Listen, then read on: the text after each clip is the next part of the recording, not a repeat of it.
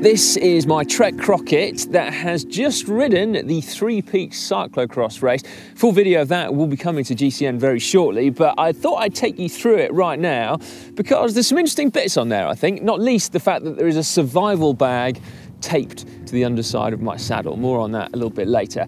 Uh, so the Trek Crockett is Trek's aluminium cyclocross bike. So it's a little bit heavier than their carbon Boone. It's a bit less compliant, no ISOSpeed decouplers on there. But arguably, it's a little bit more versatile. Tyre clearance is a bit bigger, so you could squeeze much, much wider tyres on there. And it's also the hipster's choice because it's got this funky little drop out at the back that actually allows you to run it single speed. Uh, none of those are the reasons why uh, I'm riding it. I just liked it. This is the third one I've had, in fact. Uh, they took the black Crockett that I had last year back and then replaced it with this one, which could probably only be described as some kind of celeste colour. I imagine perhaps they were just uh, doing it to annoy Jon Cannings. But uh, anyway, there we go. So the, the Trek Crockett frame remains the same. Group set is SRAM Force 1 by. It's actually the same one that was on my bike last year. The exception this time is that you can see I've got a red chain set on there with a Quarq power meter. Now that's actually left over from the shooting shoot in Alta where we were doing some science with this bike. Uh, and the reason it's a red crank is because I borrowed Lloydie's power meter. He very kindly lent it to me. Uh, and on there is just a 40 tooth chainring. So uh, a little bit smaller than I normally run, but with good reason because these hills are absolutely brutal. At the back, I've got a 10 to 42 cassette on there and obviously a uh, Force 1 by mech to cope with that with the uh, clutch system on there. No uh, form of chain retention up front. Uh, pedals are Shimano XT mountain bike pedals. I'll be quite honest, I've been using the same worn out mountain bike pedals for probably the last five or six years. And so I have invested this year in a new set and it's made a world of difference. So I'm quite glad about that. Uh, right, finishing kit, got Fizik seat post and Cyrano stem on there. Some new Bontrager carbon handlebars, uh, which again came off one of Lloydie's bikes. The reason being, they're really nice and wide, 44 centimeters wide, which I think is absolutely perfect for cyclocross, or at least for me anyway. And then I've got a Fizik Arione saddle on there. That also is a carbon number. I've got carbon rails on there. Uh, right, what are the other bits then? You, will see there's a notable absence of a water bottle cage. Now that is not intentional. I did race with one, but uh, I perhaps hadn't torqued up the bolts quite as much as I needed to given the conditions.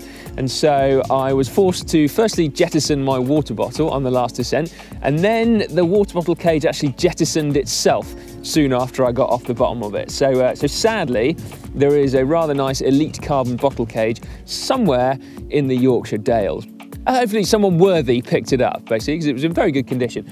Uh, then I've got that saddlebag. So one of the uh, things that makes the Three Peaks quite unique is that you're racing in some pretty exposed terrain. And so the organisers stipulate that you need a survival bag with you. Now I've chosen to stick mine underneath my seat. Um, it keeps it out of the way and instead of then running a saddlebag, I've got an inner tube uh, taped to my top tube up there. I went with just one inner tube this time and kept my fingers firmly crossed. Now up front I've got my Wahoo Elemnt bolt, which uh, to be fair, I didn't upload the route because I was relatively familiar with it, but it's quite interesting seeing my power when I was riding. Um, although unfortunately when you look at the average for the day, given how much walking there is involved, it's fairly pitiful. Uh, I've also got a GoPro attached to the bike. Now, these aren't normally allowed in British cycling sanctioned races, so we had to apply for a permit, which they very kindly granted us. So hopefully some of that footage will look pretty cool. I should imagine it will look quite bumpy if it's anything like what I was feeling through the handlebars. Now, given the ridiculously rocky conditions that you find at Three Peaks, wheel choice tends to be quite traditional aluminium wheels. So these are Zipps 303s uh, and they're the disc specific ones. So it means I've got the dimples right down to the edges for aerodynamics. Of course, when you've got a 35 millimeter wide tire on there, then that kind of plays more havoc with aerodynamics than uh, anything else. But nevertheless, they're really good. You can set them up tubeless. So that was absolutely perfect for this. And then tyres, I went for 35 millimeter wide tyres, so as broad as you're allowed in this race. Uh, and I ran them quite hard. I went for 45 psi.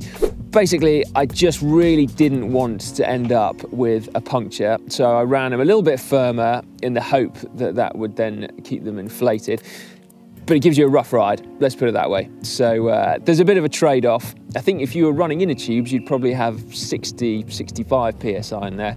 Um, so they did their job, let's put it that way, even if it was a little bit bumpy. So that is my Trek Crockett Three Peaks cyclocross bike. Make sure you get involved in the comments section down below. Let me know what you think of it. Are you a Jon Cannings? And what do you think about Celeste for a start? I will be in the comments section as well, hopefully answering any questions that you might have. Now, if you want to watch the actual video of three, the Three Peaks itself uh, with Oscar Pujol of uh, GCN and Español, which is uh, going to be particularly interesting to see how he fares, then that one will be up on GCN very shortly indeed. So make sure you stay tuned for that. And then if you want to see one of the exploits that I ended up doing on last year's uh, cyclocross slash gravel bike, where I ended up racing Neil from GMBN, you can get through to that one just by clicking on screen now.